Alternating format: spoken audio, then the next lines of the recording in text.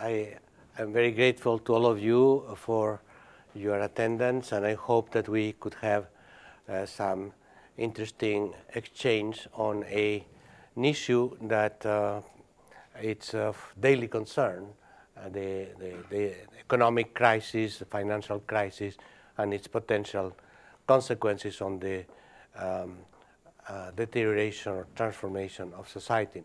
I do want to uh, acknowledge and to um, uh, be openly thankful to Oxford University Press, my publisher, and particularly to David Musson, my editor, for hosting this lecture and the spirit of continuing collaboration that we have undertaken for the last decade. Um, the hypothesis that I want to uh, present to you and then uh, argue with some information it's um, that the crisis of global capitalism that exploded in 2008 is structural, structural in the sense that it derives necessarily from the features that were informing the type of global capitalist expansion of the last two decades. And therefore, although it was magnified by uh, mistakes, uh, management mistakes, and personal greed of reckless uh, uh financial managers, uh, this, uh, this good is not really the cause. the cause is much deeper and lies exactly in the same, the same factors that explain the fast global expansion of the last two decades. So the same factors that lead to the expansion lead to the crisis. Um, the crisis has been, to some extent, contained uh, at this point, uh, to some extent, um, but uh, not to the extent to um, give jobs back to people. On the contrary, unemployment is on the rise everywhere. Uh, so as, as, some cartoon says, uh, uh, two laid off workers saying, looks like the crisis is improving for everybody except for the two of us. Um, the, but we know that this is um, the, the, the free fall of the economy has been contained through massive government intervention everywhere in the world on a scale never seen in, in capitalism history, never, uh, in, in terms of the, the, the, type of, of the scale and the type of intervention. Um, so what I, I uh, suggest, and that I give you the, the, the, the, conclusion so that you can leave if you're in a hurry. Uh, the, the policies and strategies that are currently in place to handle the crisis may result in a sharply different economic system. Um, very much in the same way that the New Deal in America and the construction of the European welfare state uh, in the 1940s and 50s uh, as a response to the structural problems that led to the Great Depression introduced a new type a new model of capitalist accumulation, if you wish, that some people have called uh, Keynesian capitalism. Not, not, so sure that the, the, conceptual precision, but anyway, we understand is capitalism that was um, more regulated than before, with more systematic government intervention, and uh, uh, leading to the creation of uh, solvent demand through public spending. Uh, that type of, that model of capitalism, which actually was very successful for a while, um, was called into question by the crisis of the 1970s. Um, basically because of rampant inflation, that was also the consequence of the same policies that ensure growth during um, two or three decades. So what I contend is that in, in the 1980s, a new model of accumulation and innovation as well was uh, introduced precisely to supersede the crisis of the 1970s.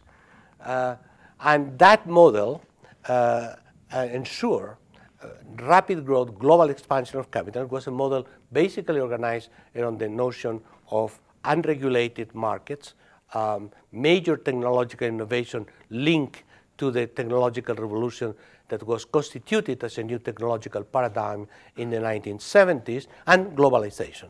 The, the, the three things together constituted a, a, new model of capitalism. Again, capitalism, but different, different animal.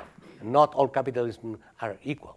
Uh, which uh, was uh, what I called, and I analyzed in my trilogy on the information age, global informational capitalism. Global because it was structured globally, uh, was capitalist because even more capitalist than ever because was uh, unfettered markets, deregulation, liberalization, privatization, and, uh, and at the same time informational because was the moment in which information and communication technology became crucial in uh, uh, spurring productivity and innovation as well as constructing the uh, markets on a global scale. Now, this new system, the global information capitalism, uh, linked to its social structure, the, what I analyze under, and, and conceptualize as the network society, have introduced some features in, in our social structure in our, in our institutions which are irreversible, such as the, uh, the, the, global network society based on uh, digital networking of all core human activities. This is there to stay. Uh, so in that sense, there, there's no transformation of that basic structure. But on the other hand, there were a number of features which are more precisely linked to the economic dynamics, which um, are now being corrected, and then the impact of the crisis uh, from arising from the contradictions of that model of economic growth. Um, and we are now uh, in, on the edge of a new form of capitalism because at the moment in which the system was literally collapsing, a system never entirely collapse because they are institutions and they are, they are management processes and political processes. So uh, the, an all acquaintance came into the forefront, the state, that had been uh, sentenced to the oblivion of history by the uh, free market fundamentalist. Uh, so suddenly, uh, looks like the state was necessary to, to uh, control, to regulate, and to um, reorganize financial markets. Um, the fundamental result of, of, of this and the fundamental aim is to restrict lending, what people say risky lending, to restrict lending. I will give some uh, data on, on the matter. But fundamentally, we are witnessing the end of easy credit. Now, easy credit was what fueled demand massively. Uh, we live on credit for the last two uh, decades. And consumer demand accounted during that period for three fourths of economic growth in the United States and two thirds of economic growth in Europe.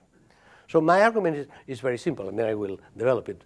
Uh, if we restrict lending, which was the base of consumer demand, consumer demand shrinks, and we have to go into a different model of accumulation and, uh, and uh, expansion of the economy, or maybe shrinkage of the economy.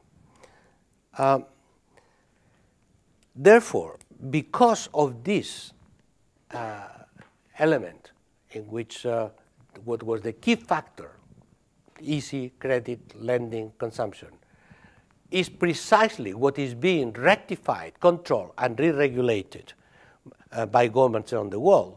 Therefore, we are moving into a different model of capital accumulation.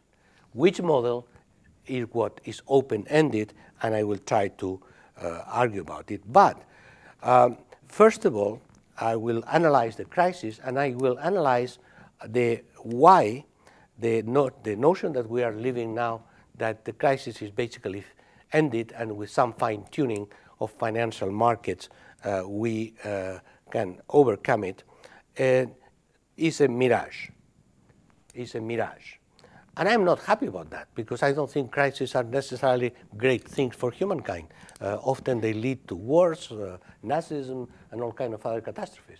But analytically speaking, uh, we are um, uh, convincing ourselves of something that is not there.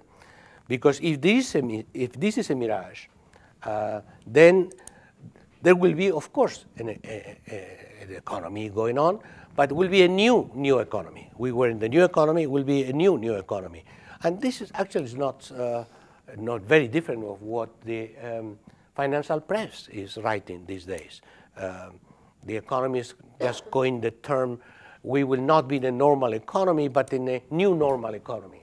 Huh, that's interesting. What is a new normal economy? Uh, so it's a, a, new normal economy. It's not a normal economy. Normal economy, the one that we used to uh, to know. Um, now, my argument goes a little bit farther because if there is a new form of economy, again, capitalism, right, uh, at its core, but not only, a new form of economic activity implies always a new economic culture. Economic processes are based on uh, idea ideational materials, on cultures. The culture of capitalism and the institution of capitalism made capitalism possible, as John North and other economic historians have shown. Uh, so my question is trying to identify, not, not to imagine, but to identify which embryos of new economic cultures can be adapted to the current transformation of the economy. And how much can we or, can, or can't we move away from a current culture, the current economic culture, which was based on unrestricted individualism, economic ultraliberalism, technological optimism, and glorified greed. Uh, so any substantial socioeconomic restructuring implies the formation of a new economic culture. And since culture, meaning, as we know, a specific set of values and beliefs orienting behavior, culture is a material practice. If such a culture is uh, in an embryonic state in society, we should be able to detect uh, such embryos. And that's what I, at the end of the lecture, I would like to try with you in terms of the observation of social practice. Um, so, but I will first try to uh, remind you the, the key elements on the um, uh, process of formation of the economic crisis, then move into the policies and strategies that are being used, and then try to uh, uh, argue why it's not working and, and will hardly be working, and then finally uh, which are the roots of the new economic culture. Trying to be very synthetic, the crisis that exploded in the last quarter of 2008 developed in four waves. The first, as we know, originated in the collapse of the financial and real estate markets, particularly in the United States, uh, a collapse that led some of the leading financial institutions into insolvency and threatened the entire financial system, which is the heart, the heart of the global informational capitalism, the global financial system, the global, the, the, the interdependent global financial market were the, the, the matrix of the entire accumulation process. And still are, but that's why they have to be rectified and re-regulated. Second wave extended the financial breakdown of the uh, in the, in the global financial market to or other economic sectors, causing the technical bankruptcy of major manufacturing corporations such as General Motors or Chrysler. Remember, at this point, General Motors is owned 60% by the American government and 20% by the uh, pension funds of the trade unions in General Motors. Um, and General Motors is a very symbolic company in America, remember, in the 1950s. Well, it's basically a nationalized company. Um, this transformation uh, of the major manufacturing corporations in the United States and around the world phased out thousands of companies because the most important thing were not only these, these mega corporations, but all the networks of suppliers who were, were always the first um, um, the, the, the protection against the first shock, and they are the first to go.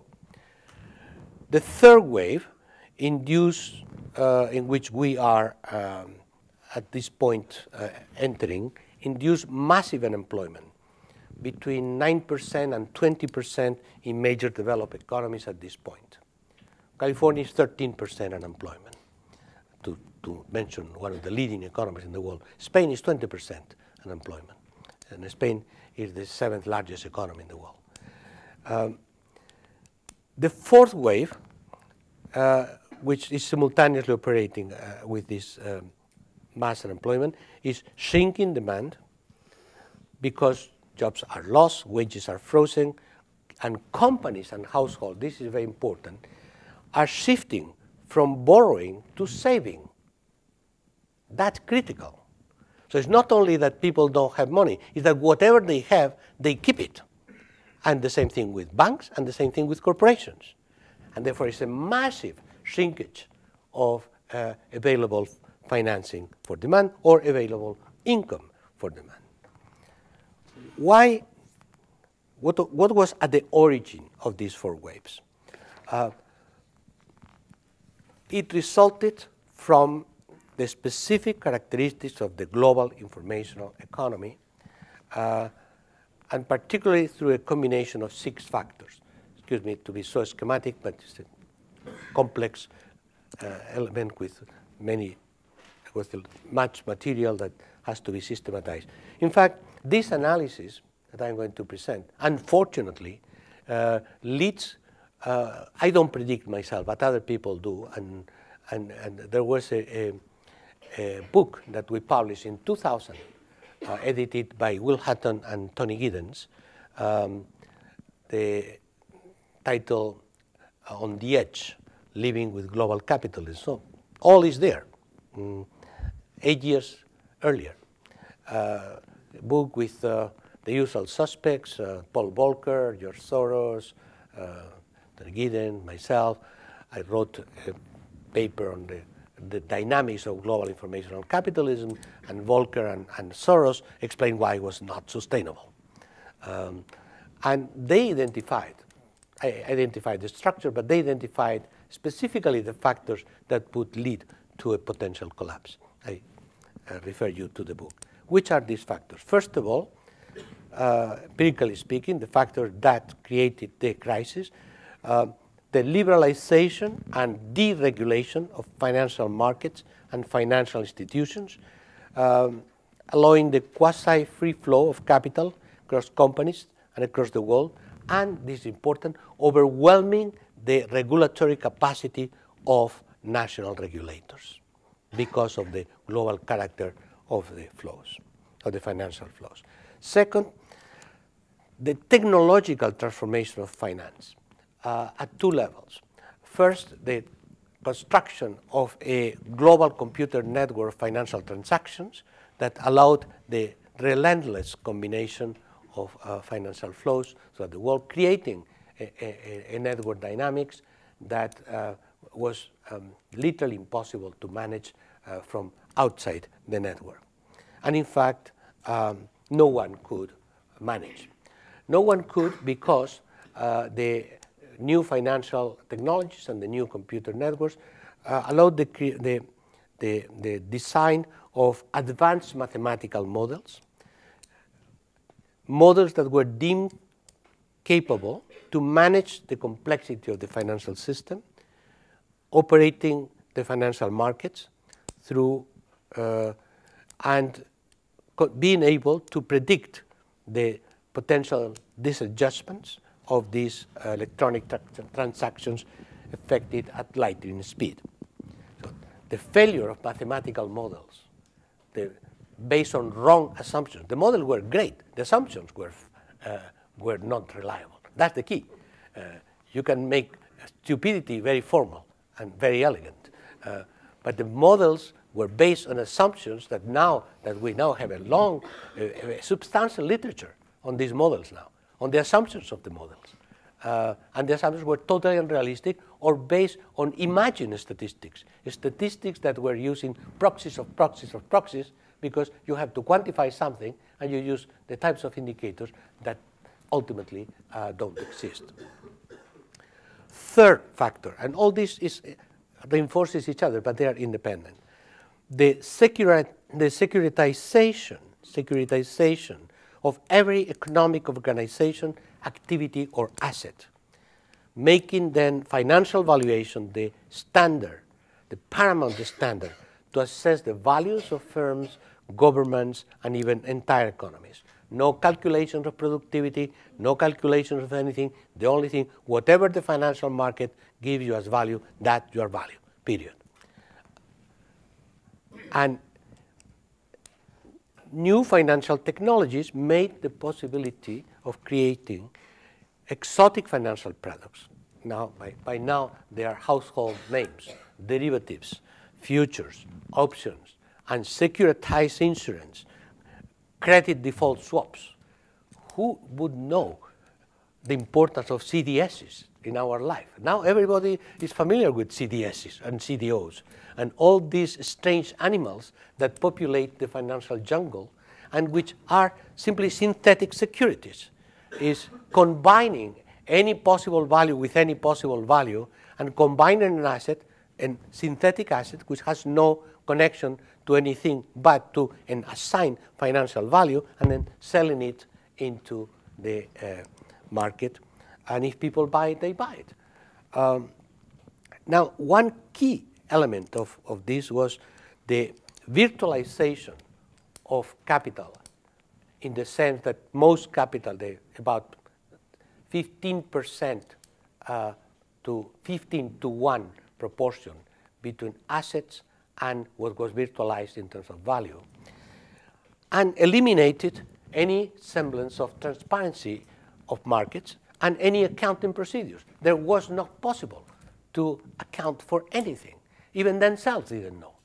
The main reason the Obama administration argued to keep in, in the, the, the, jobs for some of the top financial managers of the banks and financial institutions that they go and intervene is that they, they're the only ones who had some clue on, on, on, on how to manage this complexity, which is interesting. You create a system which uh, is uncontrolled, and then you are the only ones who know how to disentangle the problems of, of, of the system.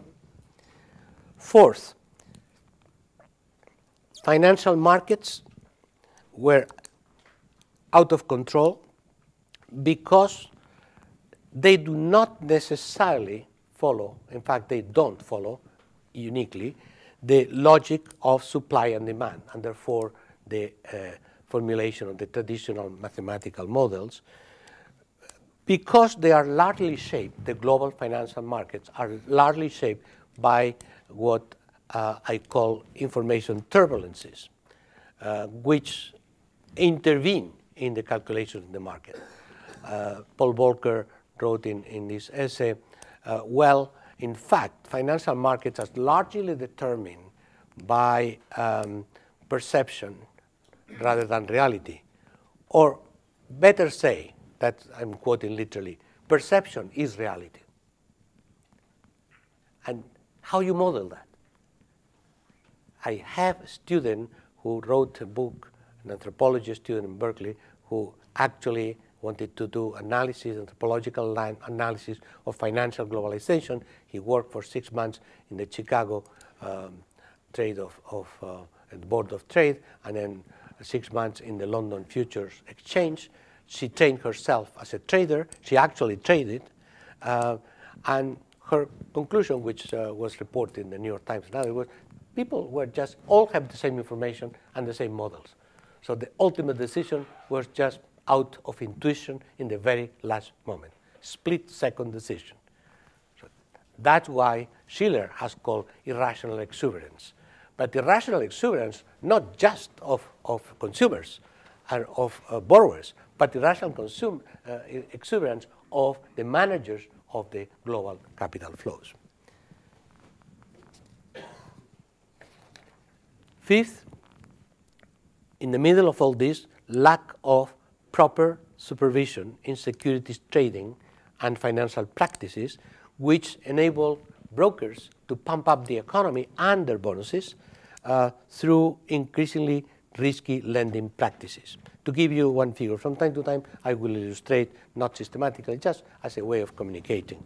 uh, in 2007 worldwide, the, val the value of the assets of financial companies was about 1.5% of the value of the securities they sold.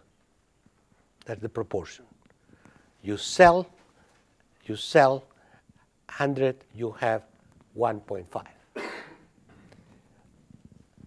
At an aggregate level, in the US, the debt of financial companies increased from 39% of the GDP in 88 to 111% of GDP in 2008.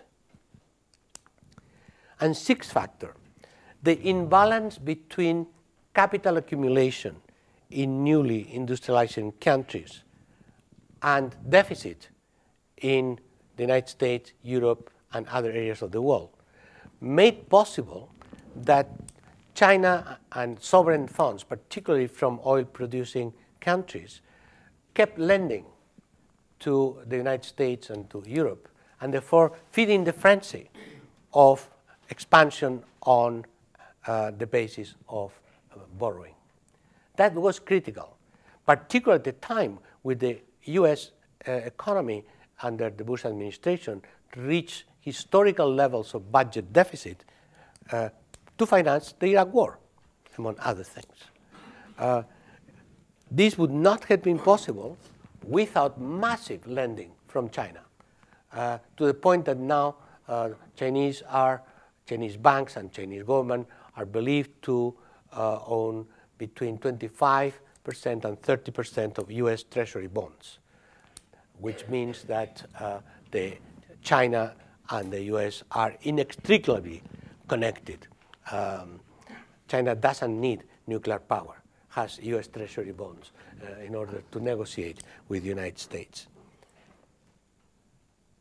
The paradox for me is that some of you know I've been working on the book I published in 2001 with Oxford University Press on the Internet Galaxy was largely based on an analysis of the conditions under which productivity uh, and rose extraordinarily during the, the, the, new economy years, and that's exactly that increase of productivity and not the internet what was decisive in, in the emergence of the new economy.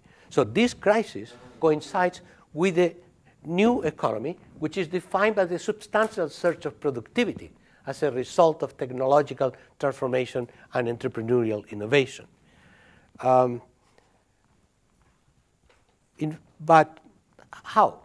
Well, focusing just in the United States, where the crisis first started and where the new economy started. Between 1999, between 1998, 1998 and 2008, so what, that decade, cumulative productivity growth was almost 30%. Not bad. Uh, for that was the new economy. Um, at the same time, real wages, the same period, increased on, in cumulative terms, real wages, only by 2% over the decade. And in fact, weekly earnings of college educated workers fell by 6% between 2003 and 2008. So at the same time, real estate prices soar. So the hope was that productivity increases would ultimately catch up with wages uh, because the benefits of growth would trickle down. And therefore, all the lending could be repaid in spite of low wages at the beginning because down the line, uh, workers would reap the benefits of productivity growth and would repay. That was more or less the, the, the, the Greenspan type of calculation. It never happened for the simplest and oldest reason in the world.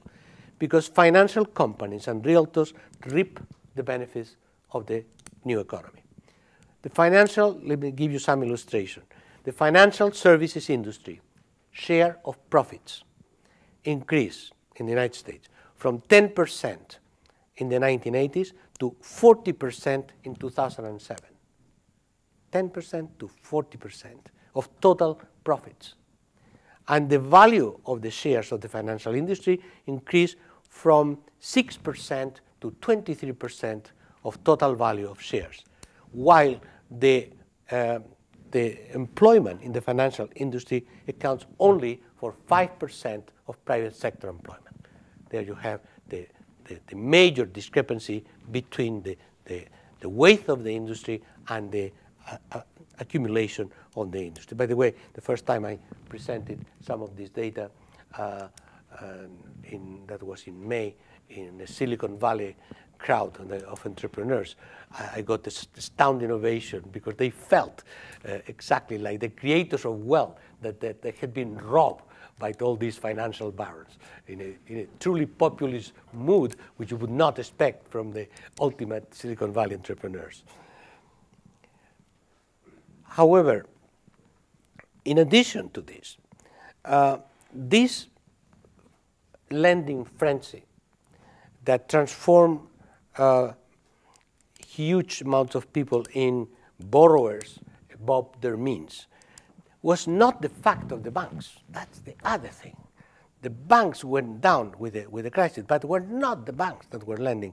In the United States, the banks only lent during the 1993 and 2008, bank lending accounted for 20% of total lending. The lenders were all these financial institutions and the new financial instruments, the money market funds, the exchange traded funds, the hedge funds, the investment banks that were transformed in lending agencies in a newly deregulated environment. Again, this is critical. Not only the banks were deregulated, finance was deregulated, and were the new forms of uh, institutions, financial institutions, with very little supervision that were, um, that were uh, the, the, the lenders of most of the capital. Moreover, banks also relied on securitization themselves. And instead of their own deposits to finance their loans. Okay? So banks use their, their, their uh, secu securities, securitization, to finance their loans, not their deposits. And in addition, they lend to each other with the notion that if things uh, turn sour, then we can help each other. No, when the crisis came, they were all down together because they were completely intertwined. Now, when the real estate bubble burst, the whole pyramid was a, a pyramid of financial cards went down because both in America and in Europe, because people were simply unable to repay the uh, mortgages or to pay the mortgages that they had taken based on the value of their homes. So that, that was the weak link of the system. If you borrow on the value of your home, you have to expect another assumption that the value of your home goes up forever. That was re- relatively short experience in, in, in, in, the economy. In fact, the value of homes collapsed uh, because of uh, excessive prices. People could not continue to, to pay, so therefore the, the, the real estate market, the bubble burst, like in Japan, like in Japan in, in 1980. But unlike Japan, unlike in the case of Japan, this time where the global financial markets and the global real estate market were intertwined, and therefore the crisis uh, diffused from one another.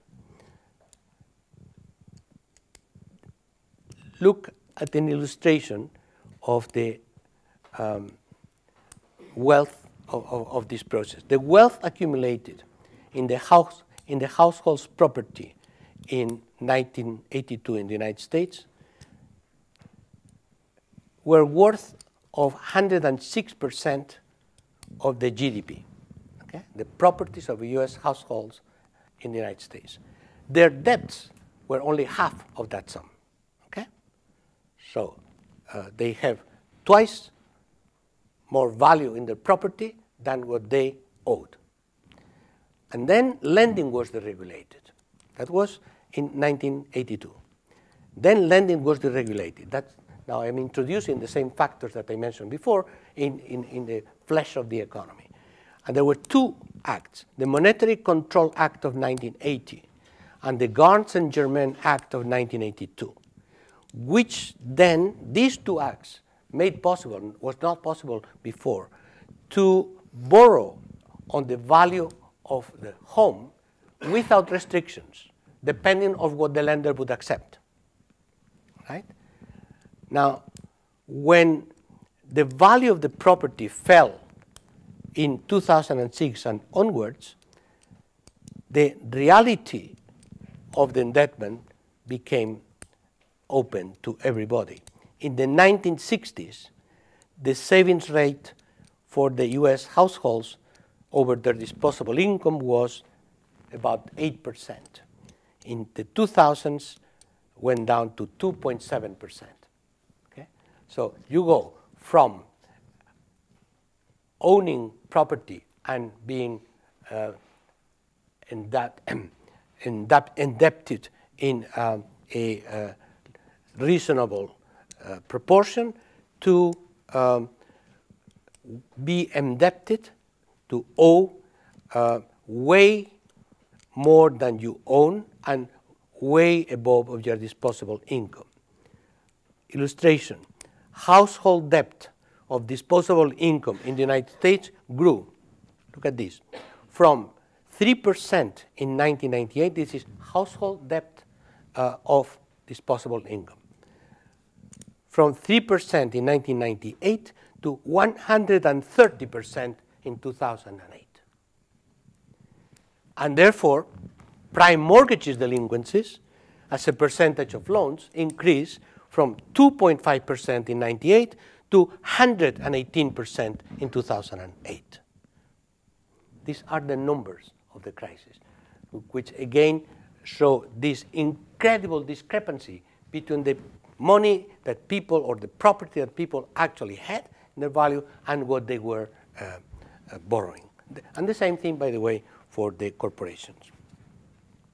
But no one could do anything about that uh, because there were no regulatory instruments and there was no transparency in the accounting and because the models were based on fake indicators.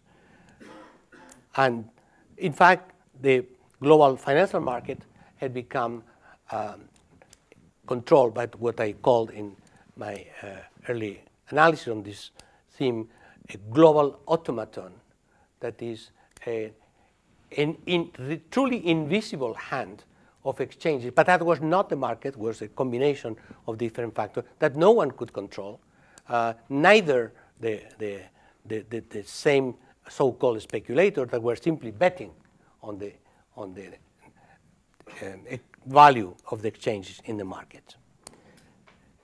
As a result, when the crisis hit, the value of total market capitalization of the financial markets in the world, the total value of financial markets, fell in 2008 by more than half half of the value was wiped out.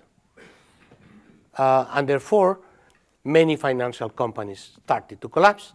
Lehman Brothers was only one that was singled out as, a, as an example by the Bush administration, was only the most notorious of them, but many others uh, went down as well. And others were brought to near bankruptcy condition. The IMF evaluates the global loss for financial institutions in the world in about 4.3 trillion of dollars. Current estimates in the US point at the disappearance out of the 8,000 American banks, 6,000 will disappear or are disappearing. In other words, the financial crisis that we are in the midst of has staggering proportions, which has been, to some extent, hidden because of emergency uh, injection of a huge amount of funding which we don't have.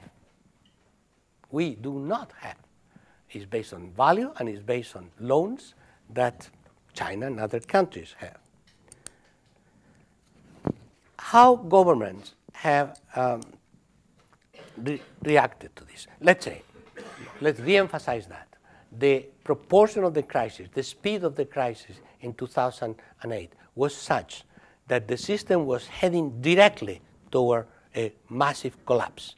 That's why even someone as uh, non-interventionist uh, in economic terms as the Bush administration or uh, as uh, uh, Angela Merkel or Nicolas Sarkozy in Europe, they were immediately ready to uh, intervene because there was, we were very, very close in a matter of days to a, a, total collapse.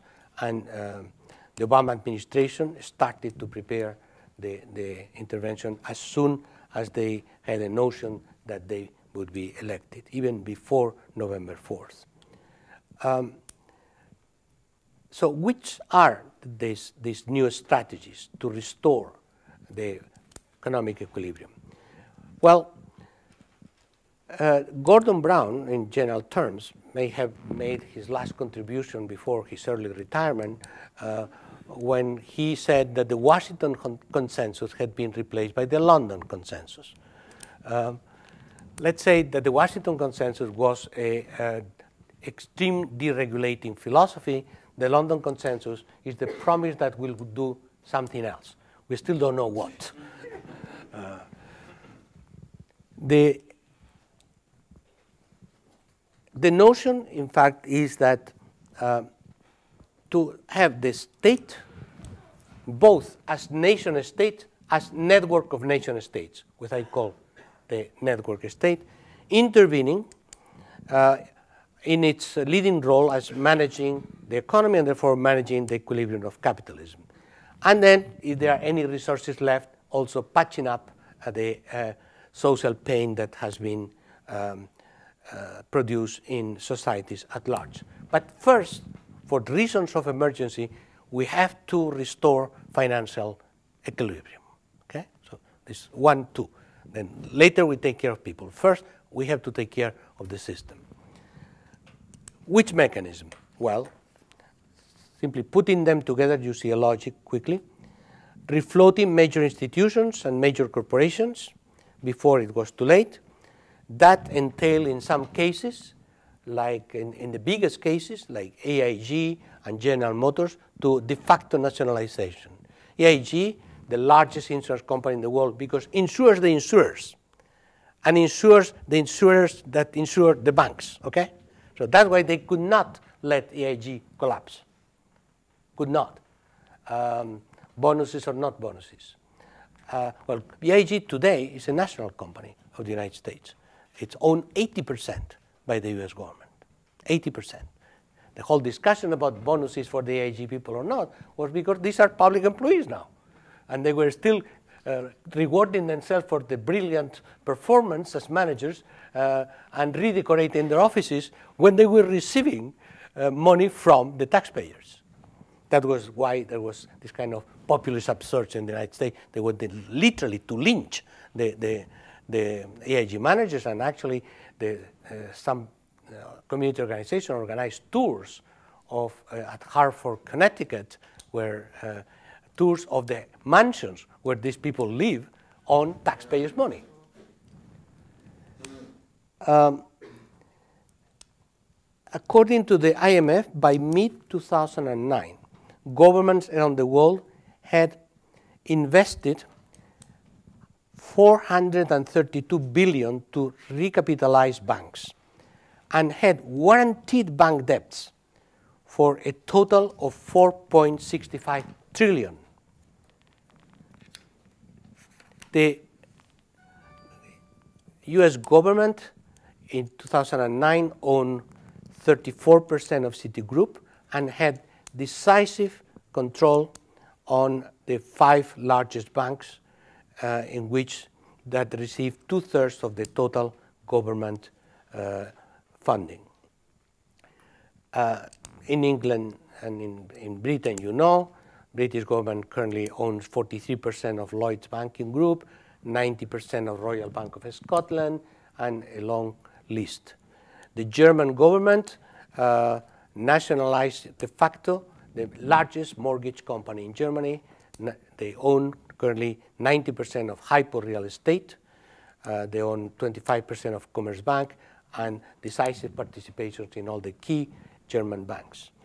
State-owned banks in China, India, Brazil, Russia, Russia increase their decisive share in the overall investment. In the, um, to some extent, the banks that are intervening in the United States represent 63% of the US market share. But more than that, the federal government and governments in all the countries are guaranteeing the banks. That's even more important. So not only re-injecting capital, but being the guarantors of the, the, the default system. So now banks are not anymore a, a risk investment. Uh, if, if things go sour, government will pay up. Will pay up if uh, they have the money. This um, second major line of policy: regulation and stricter national supervision of financial institutions and lending practices. This was, in the case of the United States, in June 2009, Obama increased the role of the Federal Reserve Board, created the federal agency to protect consumers, and uh, issued a number of measures. In the September 2009 meeting, the G20 countries agreed, in principle, a number of regulatory measures, uh, which for the moment have no, not much teeth, but uh, they um, ask financial institutions to reach the level of 5% of the value of all securities they sell. Remember, was 1.5%. Well, it's not a revolution. They're asking now you should have 5%. Still not implemented. They don't have the money because, because the money is in financial values that were inflated and now they are deflated. So the value has evaporated, right? Um, also, there were some notions of surveillance measures of, on, on offshore financial center, uh, which for the moment, again, are not being following up. One of these days you will see uh, bombing on the Cayman Islands. Uh, since you cannot uh, check the, the, the, financial network, you can bomb the notes. Um, and they even tried to have some advice about limiting bonuses for financial executives, but this is still not agreed and not implemented. So, very small uh, level of intervention. Third, all these are mechanisms that are being proposed. Design of a global financial regulation, a global financial regulator that uh, Gordon Brown proposed to be a college of central banks this is a long way to go because the College of, of Central Banks would require the central banks to agree, which means the governments to agree, which means a global government that no one agrees with. Fourth, in the meantime, the meantime, we create a new so-called global architecture of financial regulation, strengthening of the international economic institutions, IMF, World Bank, and the Bank of International Settlement. That is, to remake the Bretton Woods uh, institutions, but this type, uh, this time, uh, this requires a new power sharing agreement in favor of the countries who have cash in hand, meaning China, India, Russia, and a little bit Brazil. And therefore, the G8, G7, then G8 has now become purely a dinners club and the real club now is the G20 because they are the people who have the money. Fifth, at the national level, fiscal stimulus to restart the economy in key sectors, particularly in industries that are relevant for infrastructure and employment, such as automobile and energy. And six, in the meantime, to cover some social needs in terms of crisis, extending unemployment insurance, providing housing allowances, uh, in the case of the United States, trying to expand health coverage, subsidizing education, and overhauling of public services. Uh, there are variations in between the different governments. Uh, for some, in terms of the strategy. For some, it's really a, a, fundamentally a matter of bringing back the financial health and then letting the market work. Um, problem there is that uh, if the uh, same causes lead to the same effects. Uh, for others, what is needed, probably I would say this is the, the mainstream, is a new form of, tempor of temporary Keynesianism emphasizing massive job creation in the short term through public spending. back to Keynes in that sense. I will mention the problems with that.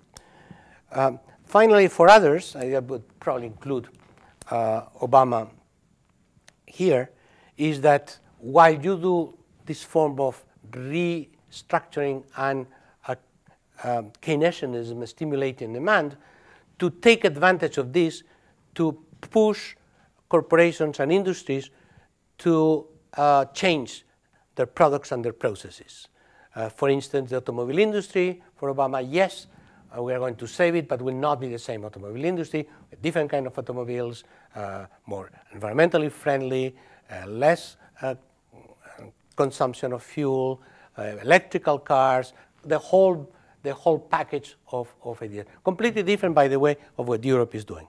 Obama at least is trying to get, in exchange for his money, because now it's his money, uh, to have a new automobile industry. Europe, which is helping decisively the automobile, the automobile industry, German with Op, Germany with Opel, etc., in fact, is redoing the same automobile industry and actually giving money to people to buy the same cars that are being produced. So missing a historical opportunity to have a different kind of automobile industry. This is what I, the, the Obama policy, I call it uh, an enlightened Keynesianism. Uh, so you, you still stimulate demand, but you try to do something literally uh, different and, uh, for instance, creating jobs in green energies and environmental uh, uh, technologies and, and, supporting the, the, the expansion of health and education on the basis of public funding and innovation and new technologies. But in all cases, the notion is that in two or three years, we'll be back some, in some way. Uh, the IMF just issued a report a month ago saying not three years, four to six years. Uh, that's the current estimate. Current estimate of the IMF for Europe, uh, for Germany, France, Italy, UK, is that if everything goes well, uh, the level of production and, and growth that was reached in 2007 will be reached in 2014 or 15. This, this is the projections, very conservative projections of the IMF. Um, now, the issue there is uh, uh, in order to manage the transition to a new form of economy, the fundamental thing is leadership. And the fundamental thing is trust in the political leadership. And there, we, we know that we have a huge democratic deficit in the world in which the large majority of, of citizens don't trust their political leaders, don't trust their governments, don't trust the, the, the, the, the, the main uh, persons in charge of the economy. And therefore, uh, the United States situation is somewhat different because Obama still has some level of trust uh, because he's new and he's trying to do different things. But in most of the world, most certainly in Europe, uh, citizens are turning to conservative solutions. They shun any tax increase. They reject corporate bailouts, blade foreigners, and individualize the response to the crisis by breaking networks of solidarity and counting on themselves. This is the main uh, response from the grassroots to the crisis. I am myself, which, by the way, economically means one thing saving, saving, saving, which means not spending, not spending, not spending, which means deepening the crisis. All right? So, this, this individualism and populism means that I don't trust anybody. I'm going to save myself push out the, the, the competitors for in the job market, meaning foreigners, and vote for parties who guarantee that I will get my taxes, and I am not going to, to increase my taxes, uh, throws out the foreigners, and um, allows me to uh, uh, stay home with my own savings and guarantees these savings in my bank. Limits of these policies. of these policies that altogether I call, I call them the capitalist perestroika. Uh, first, because literally perestroika in Russian means restructuring. And second, because that's what Gorbachev was trying to do. Gorbachev was trying to save communism. Uh, good guy, but he was a communist. And he tried to save communism, just failed. Now, my issue is, is capitalism to be smarter? And the perestroika is going to work uh, throughout uh, these years. Here are the problems. The key measures to refloat financial institutions and jumpstart demand depend on massive public spending, of course. And where's the money? According to IMF, taken together, the countries of the G20, and here I'm putting China, their budget deficits have increased from 1.1% of their GDP, their aggregate GDP, in 2007 for the G20 to 8.1% in the second quarter of 2009. Government debt for the G20 countries in 1980 was about 40% of their GDP. It rose to 70% in 2000 and is approaching 120%. That's my point. Yes, public spending, we are going to save everything. Where's the money? Because we already were indebted. We are coming from indebtment. In the case of the US at this point, uh, gross debt over GDP is 112%. Under these conditions, finance spending, finance this public spending, without a substantial inflationary surge, without massive inflation, would depend on, technically speaking, increasing economic growth, sure, but you know, first you need the spending to uh, increase economic growth. So this is delayed uh, effect later on. Second, raising taxes. Great idea in the middle of the crisis with everybody against you. Um, Zapatero in Spain is doing that. He's going to, to pay by losing the next election. The guy said, yeah, you want me to finance all this with, with money. I raise taxes. Uh, okay, no, you finance all this and don't raise, raise taxes. And don't borrow because then you increase inflation. The guy decided to try his best and dying in the trenches. Uh, okay? um, problem is, well, by the way, don't you think it's an, an interesting paradox of history that capitalism is being saved by the last communist state? uh, so much for those who like simplifying, you know. Uh, is, is, China communist? Yes, it is very communist, defined by a Communist Party controlling everything. Is China capitalist? Yes, it is very capitalist. Uh, so China is saving capitalism, that is, the communism is, is, is saving capitalism. But China has all kind of problems. Uh, people talk about Chinese money, but they don't know China. I know a little bit, not much, but I, I, I go often and I have tons of Chinese students who are super smart. During the first, China is facing dramatic difficulties because of the re reduction of exports to the United States and other countries. Dramatic difficulties. Um, I have the data for that, but you, you have uh, enough of, of, my, my, of this kind of data. But believe me, it's huge reduction. Now, therefore, now China, in order to keep growing, needs to spend more and save less, all right, domestically. Its saving rate in 2008 was 50% of GDP. America 2.7. That's the disparity, 50% saving rates. And therefore, China also has embarked in a huge government stimulus, uh, about $600 billion stimulus package in November 2008 plus a number of investment by Chinese banks. And in fact, it's this spending that is now government and, and banking lend, lending that is keeping China growing. 75% of China's growth in the first quarter of 2009 comes from lending and spending by the government. So, so they say, well, expand domestic demand in China. Let's Chinese people spend more. They can't. That's the mystery that the Westerners don't know. They can't. Why they, they can't? Because they don't have any money. And they don't have health, and they don't have education, and they don't have retirement. So they keep saving like crazy the meager uh, income they have. Real household income in the moment of glory of Chinese expansion in China fell from 72% of national income in 92 to 55% in 2007.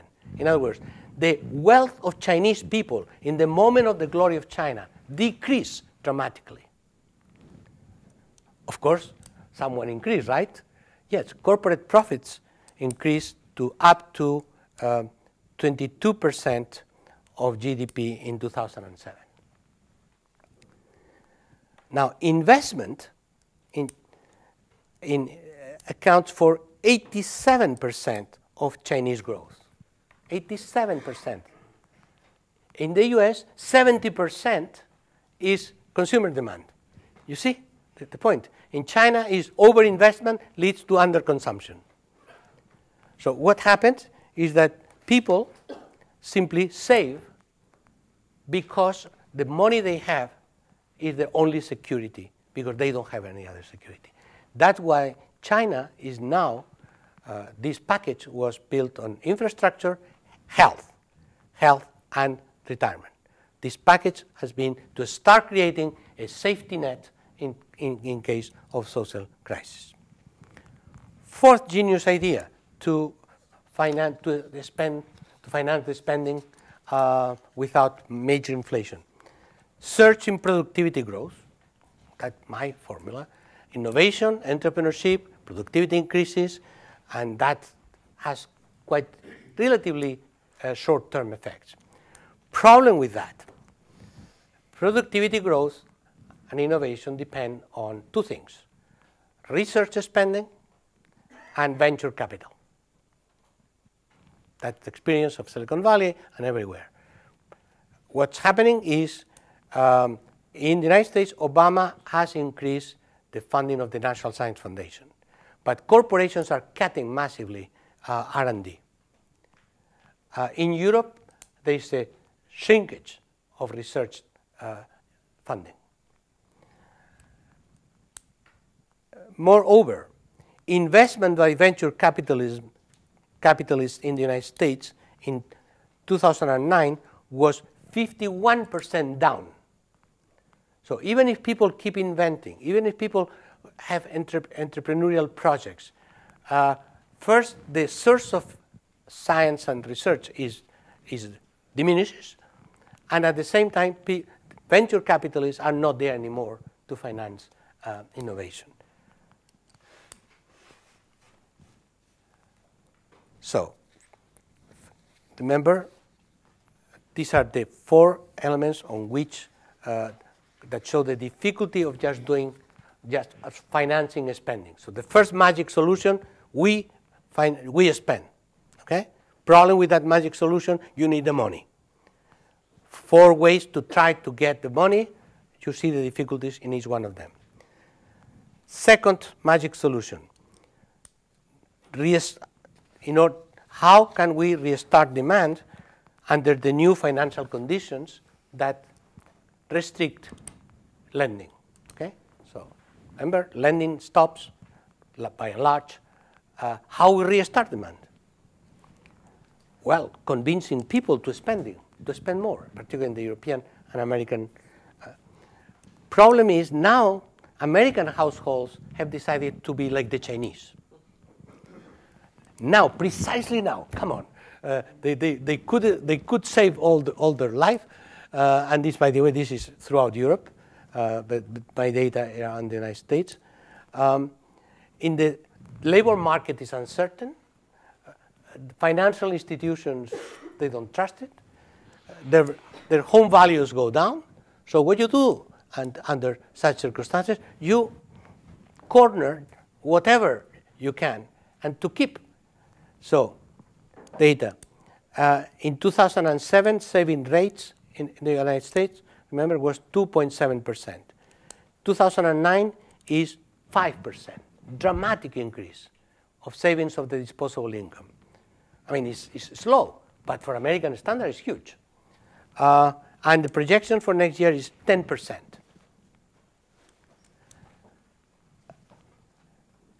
So what they are doing is they're paying as much as they can what they owe and then build protection against the future. And this is throughout Europe the same thing.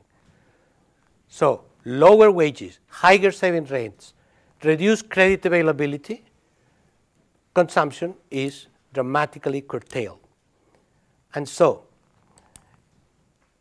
another figure, in 2009, the US economy was almost 800 billion short to restart growth at the pre-crisis level of employment. Okay? Um, third problem, there is, at the moment, there is less demand and less investment and less lending. There is a sharp, as a consequence of all this, is a sharp increase in unemployment around the world. At this point, according to IMF, uh, we are losing about 25 million jobs in the OECD countries. And the projections is that it's unlikely that it would be recover most of them. Uh, the forecast of the IMF is high rates of unemployment for uh, the time being, at least for several years, in Spain, Ireland, US, UK, Italy, and Germany, with all double-digit rates of unemployment in all these countries.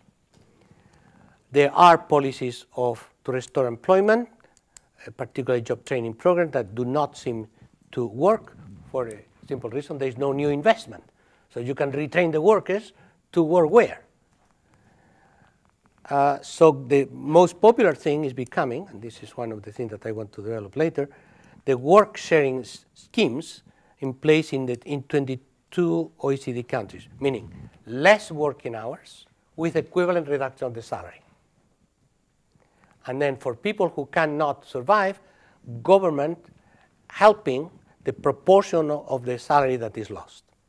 Okay? These are the, the, the, the uh, work sharing schemes. Supposedly, you share uh, with another one who will be hired to do your uh, work.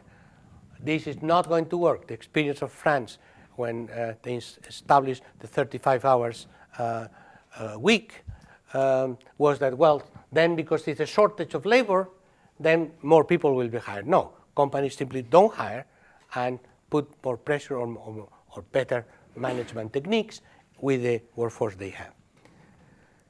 Um, fourth, the duration of the crisis uh, is much longer than has been predicted.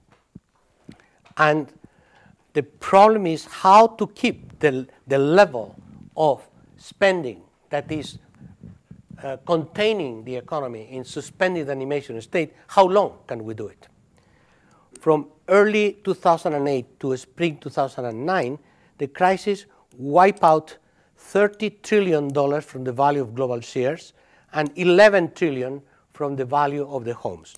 What, what all these figures means what?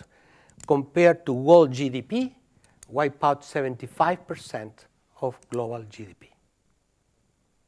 This is the level of the crisis. So the problem is not only the destruction of the wealth, the problem is that the assets held by the banks and households, in fact, are at the same time linked to debts. So debts have to be repaid first.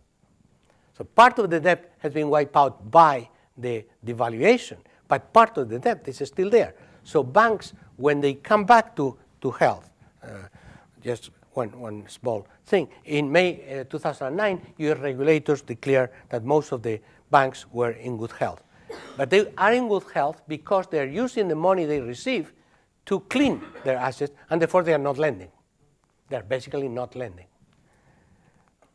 In addition, remember, even if the banks would restart lending, 80% of lending comes from non-bank financial institutions, which are in complete process of reorganizing their strategies. Because, for instance, CDSs are going to be probably uh, forbidden.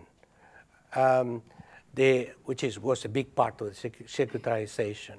Um, the hedge funds are going to be so heavily regulated that there will be no interest in being a hedge fund. Uh, offshore financial centers are going to be scrutinized by tax inspectors. Uh, so therefore, the financial uh, industry is keeping tight and concentrating on saving itself before saving the others, like in the airplane with the child. So the financial, uh, the financial companies are first breathing themselves, and if there is any air left, they will lend to us. Uh, that's why people don't have money, keep saving, and therefore all this leads to a stagnant economy in the sense that an economy that um, uh, doesn't consume. So, without going in further technicalities, uh, the notion is that even counting on the successful implementation of some of the policies that I mentioned, the pool of available credit will be necessarily sharply reduced. There will be a shift from market delivered goods and services to public sector delivered goods and services, but at a lower level. And economic activity will stagnate first and then grow slowly for a long time. And public spending, because of the uh, reasons I mentioned, uh, will be uh, suspended in the after a while uh, in its current um, stage. And therefore, from all this real mess, what is emerging is a three-layer economy. First, a much smaller, revamped, informational, capitalist global economy, which will be dynamic based on innovation, on productivity, and borrowing uh, with um, parsimony and uh, in proportion to what the assets uh, and the projects that the companies have. A new economy is unfolding, is, is unfolding at this point with new products and processes in fields such as energy, nanotechnology, bioinformatics, telecommunication, digital new media, digital entertainment, which is much more important than all the other electronic industries in terms of value. But this is a reduced pool of venture capital and R&D investment, so this has not the potential to lift the, uh, the demand of the majority of the population. So it will be a dynamic sector, is there already. Uh, Silicon Valley is doing much better these days, um, but it's a dynamic sector which is unable to generate enough value to stimulate the demand on the economy at large. Second, what is keeping the economy alive is a much enlarged public and semi-public sector connected with a smaller market sector with tighter regulation of financial institutions. And third, there is a third sector emerging, uh, which is linked, is what I call a use value economy, which is linked to the notion that in any major economic crisis, uh, people don't stop living. Uh, they invent ways to adapt. One way is what I mentioned before I save, and I try to do whatever I can with my savings. Uh, I hold into my job as much as I can, even at a lower salary. That's one, what I, what I would call the traditional way of trying to resist the crisis. But there also there is a new economic culture that may result from the historical convergence between two things what I call a cultural vanguard, people who have already, years ago, started to live otherwise, to live in a non-commercial way of life, part of their life, not people who have regular jobs, who are real people, not hippies and things like that, uh, real people, but not living completely in a capitalist economy, creating something else. And what happens is that in a if we look at history, there are, so cultural change always happens with people who already have some new ideas connect with the masses who are disoriented and they need something that they can do. in this particular case, masses that have nothing to lose except their canceled credit cards. Devalued plastic, so uh, revaluing life. What is this use value economy? Here, I could go in, in a long theoretical and political uh, analysis about uh, the, the, the regeneration of capitalism from within capitalism, but I'm not a theorist. I'm an empirical researcher. So what I do is I observe what's going on. And what's going on below the radar is thousands and thousands and thousands of people doing completely different things, which is in terms of the use value economy. Like what? Shopping list. Consumer cooperatives. Usually motivated by consuming organic produce and environmentally safe products, but, but many other things. Uh, they are based on trust, voluntary work, joint financing, fair pricing, and collective decision making. And there are thousands and thousands of them in Europe and in the United States.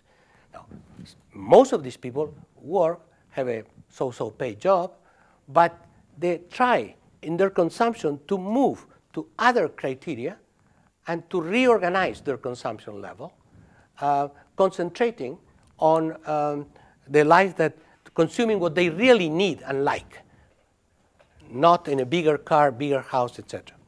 Second, producer cooperatives, often connected to consumer cooperatives as their trusted suppliers. The nucleus here is in the realm of agroecological production. Uh, southern France is full of, of, of consumer producer cooperatives on agroecological production. Some of these cooperatives are for profit production, but operating on different principles of traditional market. For instance, increasing the value of the share of the worker depending on her contribution to the cooperative. Third, a, a, major explosion of urban farming, particularly in the United States, starting with Michelle Obama planting tomatoes in the lawn of the White House which, yes, is symbolic. I don't think the White House is going to live out of the tomatoes of their garden. But first, her children are getting the idea. More importantly, thousands of schools in the United States had gotten the idea, and they have joined the movement. And now schoolyards are becoming urban farming projects. Uh, and, and again, all this is not, is not simply to to be a CC fashionable eco ecological activist. Um, it's tweeted. It's actually tweeted, and and tweet better and cheaper. Uh, so it's a segment of the consumption, of the household consumption, but it's a segment. Barter networks and time banks, huge expansion of this.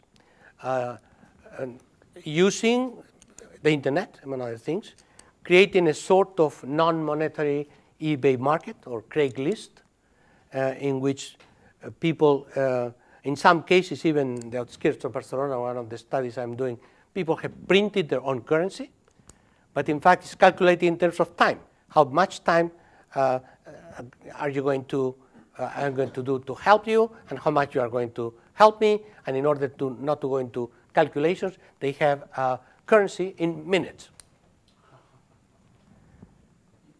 that is exchanging lifetime for lifetime. Communal living.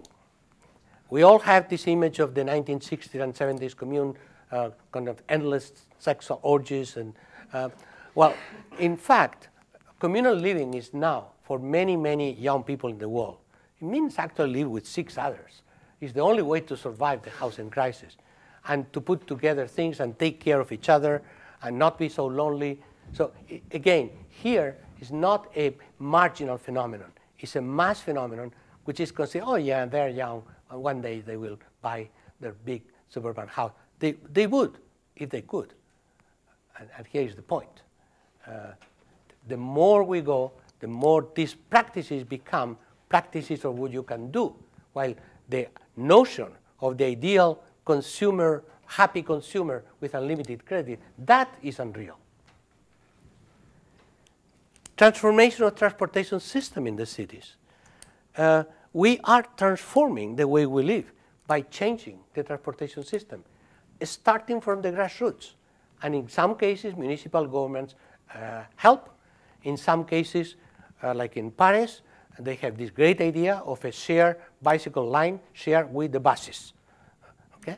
Um, one way to exterminate cyclists very soon. Uh, so the, in, in, in, the United States, as some of you know, there is a social movement called critical mass, in which uh, hundreds of cyclists at one particular, actually on Friday at 5 p.m., uh, in cities that resist bicycling, they try to uh, introduce the possibility of uh, blocking the, the traffic to show that they could actually go faster than with a car. Even in Los Angeles, come on, if Los Angeles can go on bike, uh, something has changed. Now, how you go on bike in Los Angeles, by the way? Read my article, actually, the article of a uh, friend and colleague of mine, La Laura Burkhalter, a professional architect. We wrote an article together, published in a journal, a very good architectural journal online, which is called ArchiNect, NECT with ECT, in which we have all kind of, call it, a new urban paradigm, in which we build on experiences, and then she goes further than, than I do and proposes a number of things. And she has designed, for instance, a bicycle freeway system overlaid over Los Angeles automobile freeway system uh, with uh, open space in between and the possibilities to actually uh, stop from time to time and have a shower uh, before going to work. Uh, now, her point is very realistic. Obama is putting money in infrastructure. So actually building more freeways, which is a way to increase traffic jams, as everybody knows in the planning world. Uh, so why the same money is done in a different way, in an innovative way, by increasing the possibility of a separation, remember Le Corbusier, separation of, of automobile traffic, bicycle traffic, and at the same time outdoors cafes uh, in, the, in the middle of the, in between the two lanes. And you have, you have a bicycle lane uh, which is uh, unimpeded, you have on average 30 kilometers per hour.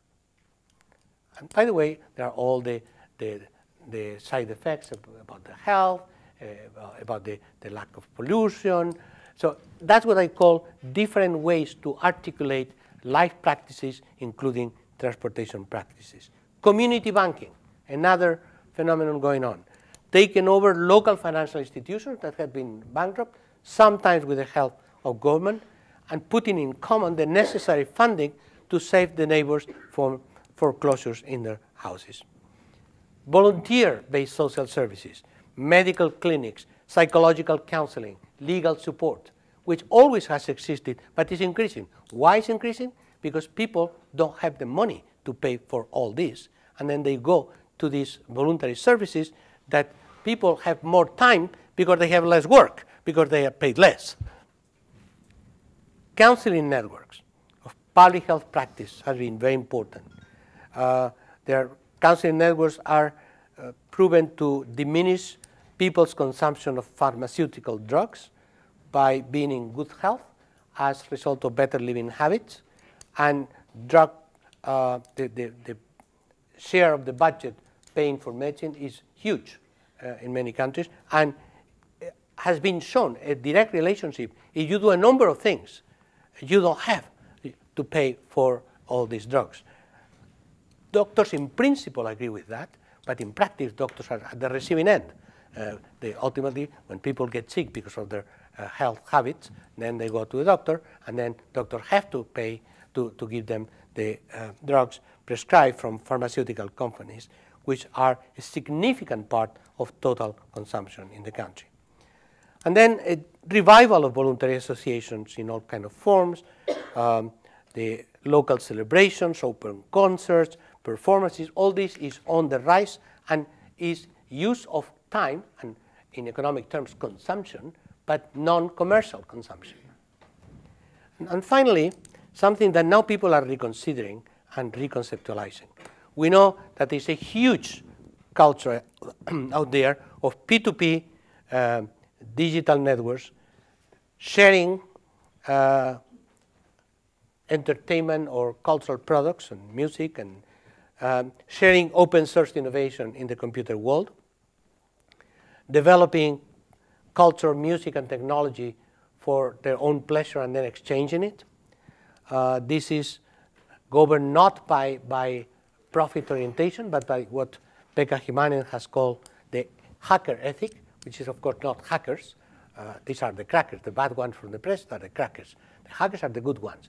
And the hackers are people like Tim Berners-Lee. Uh, the hackers are those who created the internet and who create all the time innovation, Linus Torvald, etc., etc., and thousands and thousands of others.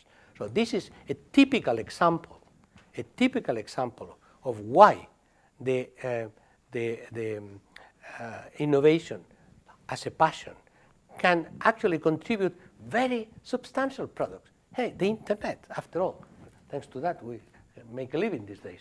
Uh, the, the internet, well, the internet was not government and was not commercial, was created by people with a passion to create the internet and with the idea that rather than copyright the internet, imagine if Tim Berners-Lee would have copyrighted the World Wide Web.